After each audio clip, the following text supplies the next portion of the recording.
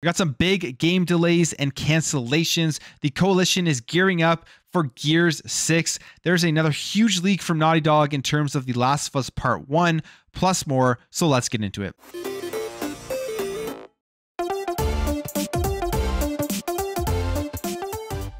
All right, guys, before we get into this, if you are new here, as I see a lot of you are, and you enjoy this video, please consider hitting that subscribe button. So Ubisoft had their fiscal year 23 Q1 earnings call, and there are some big updates for a bunch of upcoming games from Ubisoft. The biggest update of them all is that Avatar Frontiers of Pandora has been delayed to 2023 and may even be pushed all the way to 2024. So we don't know too much about this game. We have seen a couple of trailers for it. It is a first person game where you're going to be taking on the role of Na'vi, running through Pandora and taking on unknown threats. But that's pretty much all we knew about the game. There was never an official release date, but there were reports out there that it was going to be released sometime in 2022. And obviously now that isn't the case anymore. As during the earnings call, they had this to say they are committed to delivering a cutting edge immersive experience and that it will be a major multi-year opportunity, but that it has now been delayed until 2023, 2024,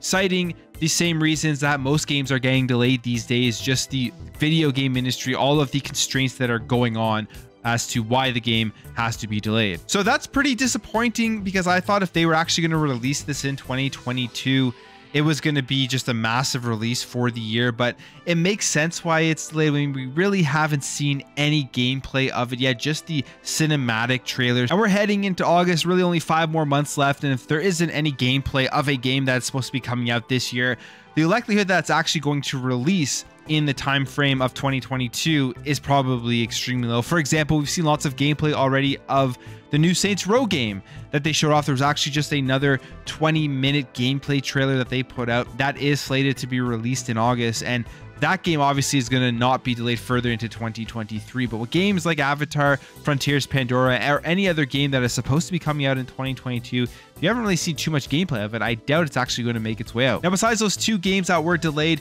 there are four games that Ubisoft is completely canceling. So there's two unannounced games that we have no idea what those could be. And then they are also canceling Splinter Cell VR, which didn't really hear anything too much about that before they actually went ahead and canceled it. And then there's Ghost Recon Frontline, the Battle Royale game. And when they announced Ghost Recon Frontline as being a Battle Royale game, there was a lot of backlash from the community. We know the debacle of Ghost Recon Breakpoint, that was really a bad game in the entire series, especially coming off Ghost Recon Wildlands, which was a ton of fun. And just the overall series has a pretty loyal fan base that loves the series and they're seeing it move to something that they don't want to see it move to and then they announced a battle royale game which again, probably not something that Ghost Recon fans want to see. So they've completely scrapped that. And when they do finally bring out a new Ghost Recon game, here's hoping that they can get it back to where it was. I think that's what Ubisoft has to do with the Ghost Recon franchise is bring it back to like the advanced warfighter days, the future soldier days. Those were such great games and get the community excited for Ghost Recon again because after Breakpoint, it feels like a lot of people aren't into the series as much anymore. Now I've heard Breakpoint, I haven't played yet, but I've heard that they, they have done a lot of stuff with it that have improved the game. But it's also the game that Ubisoft utilized first for their NFT stuff, which had also a lot of backlash. And overall, from the numbers of what they sold off those NFTs, didn't do very well.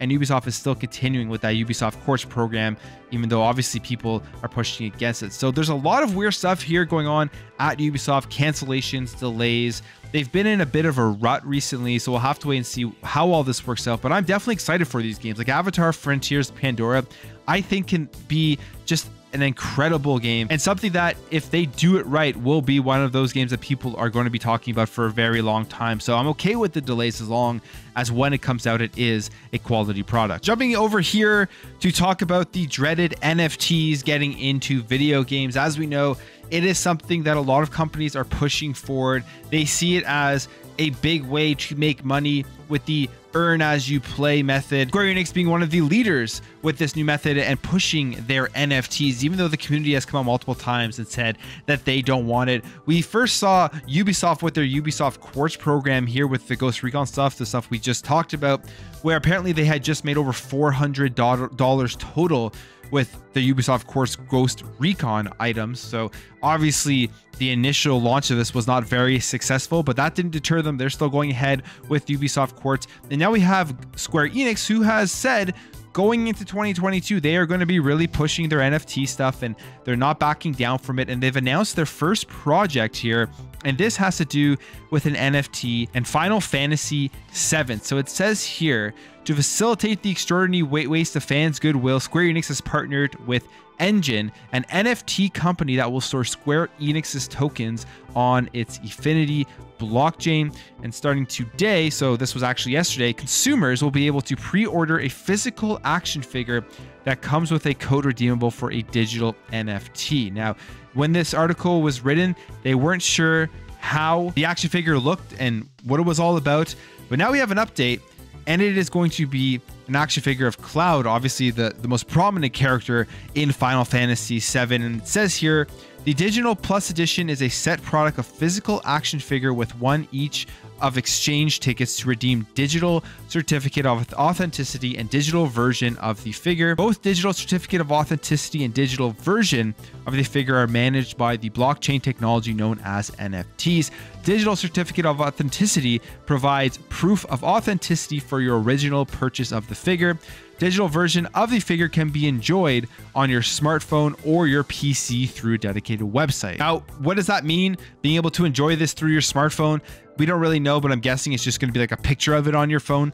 Something that I don't really have I haven't really wrapped my head around yet when it comes to NFTs just thinking about why people would be excited about an exclusive JPEG and not actually want a physical item of something. At least with this, you are getting the physical figure, which I mean, it's pretty cool looking if you like Final Fantasy VII, if you're really into Cloud and you collect figures like this. That part's okay, but it's the digital side of things that they are trying to push, which they're trying to create this artificial scarcity of that digital product in order to increase the price for what they're selling with their NFTs. This will actually be costing $160 if you pre-order it now, and it is set to release in November 2023. Now that's not it. They are also going to be attaching NFTs to their trading cards. So Square Enix, Final Fantasy, they have a trading card game and they're saying here that next year they're going to be releasing Final Fantasy VII trading card sets with NFTs bundled into packs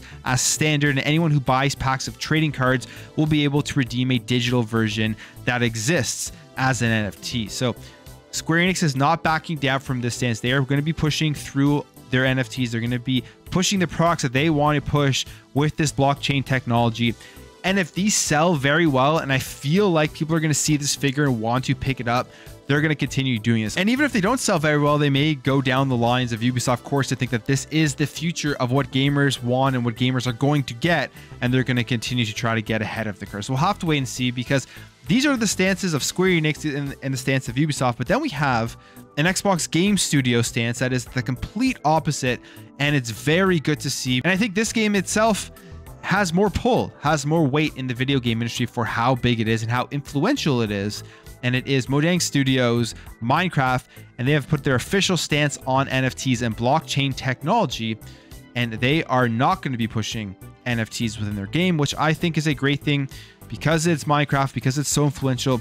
It's also part of Xbox Game Studios, and I'm hoping that this is going to influence all of the Xbox Game Studios to go ahead with this stance as well going forward. But here is what they say. Blockchain technologies are not permitted to be integrated inside our Minecraft client and server applications, nor may they be utilized to create NFTs associated with any in-game content, including worlds, skins, personal items, or other mods. And then according to Mojang, they, they think that the digital scarcity created by NFTs is in direct opposition of Minecraft's pursuit of safety and inclusivity across their entire ecosystem. And they also mention the volatile nature of the NFT's value and how there's so much risk with investing in these things and the artificial value of some of these NFTs that get brought up and then they get completely dropped and you're just out a bunch of money. And that's the one thing with NFTs is I don't fully understand them, but I do have somewhat of a grasp on them now as they are just digital ownership of items that people put a value on, but they're literally just pictures that you can download for a lot of these things.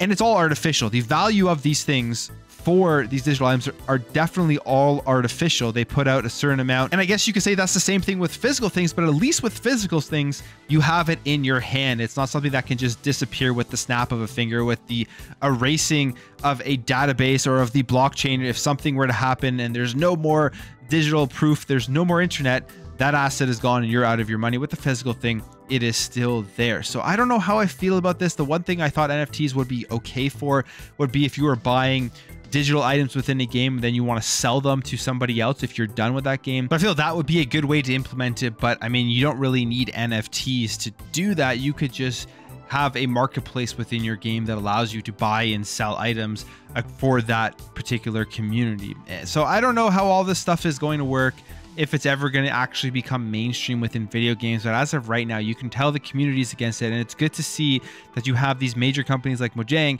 with one of the biggest games ever and one of the best games of all time, just in terms of what it meant to the culture of video games, what you can do with it, how creative you can get with it, all of that type of stuff. Minecraft is up there putting a stance against the NFTs for now because I think this will have a lot of influence across the industry. All right, to end things off, just a couple of game updates. And we have to start with this one here, something I talked about in yesterday's video, and that is The Last of Us Part 1, the remake of the game that is coming out this September. So there was a leak going around that there is no gameplay improvements for this game, even though Naughty Dog and Sony have said in their official description of the game that there will be gameplay improvements. And now we have even more leaks. I hadn't seen these videos yesterday, but we got some more leaks of the actual game itself, some gameplay. And if you were to go through and watch these videos, they're the exact same as The Last of Us Part 1 back on the PlayStation 3 in terms of the animations and in terms of the gameplay. And honestly,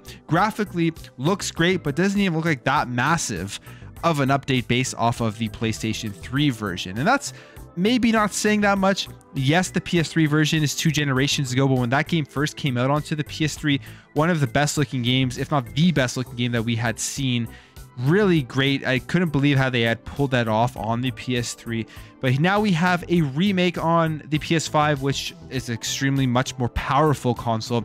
And they're selling this game at $70, which people are expecting there to be a reason to be able to pay that $70 in order to get a big upgrade from the original version. And obviously from these gameplay videos, I don't think there is a reason whatsoever for the $70 price take for this game. It really just seems like it is a graphical upgrade to it, just a nice layer of paint to make people who haven't played this game before guess get the best looking, best version of the game. But besides that, there is no reason, in my opinion, to go out and spend the $70 on this game for the majority of people. And the reason why I think this is a big deal, because if you remember at the Summer Games Fest, they came out and they completely pitched this as something brand new. It was going to be the best version, new gameplay, all that type of stuff with this video, really hyping it up. And then also on top of that, talking about how they were taking the multiplayer and releasing it as its own release because it was too ambitious. And the reason I think they did all of this is because if you remember with PlayStation, they have come out, Jim Ryan talking about it, that they want to release 10 live service games up until 2020 or by 2026. And to be able to do that, instead of offering the multiplayer as an addition to The Last of Us Part 2, I feel like Jim Ryan came to Naughty Dog and said, hey, we need to meet this goal. Our investors want to see this. You need to take out that multiplayer. You need to release it as its standalone game, but we need to have something that will make us money at the end of 2022. And Naughty Dog with The Last of Us Part 1 knew that people are going to be excited and people are going to go out and buy this game again for the third time or the first time or the second time, depending on how many times you've picked up this game. And it will make the investors happy with the amount of money they made. So they are marketing it as this brand new experience with The Last of Us Part 1. But from the leaks we are seeing, it doesn't seem that, is the case, and a lot of people are upset about this. Okay, jumping over here to TMNT, the Cowabunga Collection. Now, this is a collection of 13 retro TMNT games. It had been announced previously, but we did not have a release date.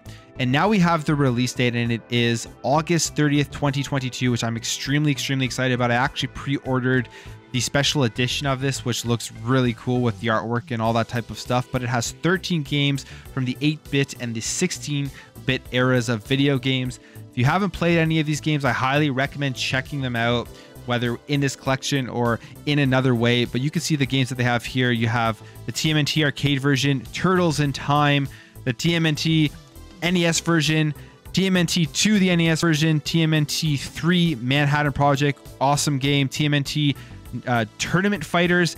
You got Turtles in Time on Super Nintendo, one that I highly remember playing that all the time. Then you have the Tournament Fighters for Super Nintendo. You have the Hyperstone Heist on Sega Genesis. Also, really remember that one. That game was pretty cool. Then you have Tournament Fighters on Sega Genesis version as well. Follow the Foot Clan for Game Boy, Back from the Sewers for Game Boy, and Radical Rescue from Game Boy. So there's 13 games. For me personally, I've only played maybe about three or four of those 13 games. So I'm really excited to jump in and try them all out. But I think this is a very, very cool collection. Lots of great games in here. The TMNT games back in the day, the arcades on the Super Nintendo, on the NES, on the Sega Genesis, a ton of fun. So August 30th is the release date. Keep your eye out on that if you want to check it out. And then finally here, here we have some news about potentially Gear 6 as it looks like the coalition is really now hiring a lot of people to get to work on the new Gears of War game. They have put out six new job openings and they're recruiting developers for a new Gears of War game. The job listing here says the Coalition is a Microsoft first party development studio located in Vancouver, Canada. We are the official home of the Gears of War franchise, and our objective is to forge the future of the IP and push the limits of Microsoft's entertainment platforms and devices. Our team is comprised of deep creative and technical talent from across our industry and beyond, working cohesively to delight our fans and pass expectations of what is possible. Then you can see the breakdown here of the careers that they are hiring for.